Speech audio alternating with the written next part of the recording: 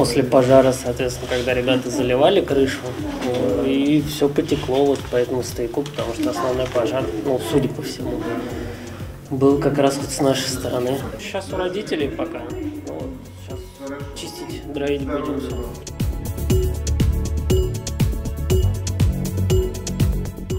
Осмотрели мою квартиру сегодня и принесли продукты.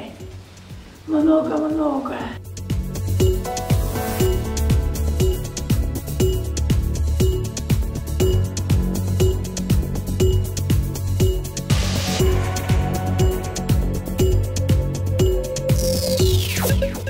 С людьми общаемся по трем каналам, фактически ежедневный обзвон сотрудников, администра... сотрудниками администрации каждого жильца.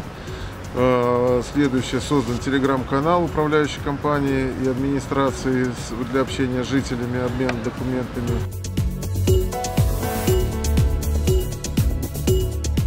Работает 60 человек, люди активно участвуют в этом процессе, все работники. И надеемся, что это все будет сделано соответствующие сроки и с хорошим качеством.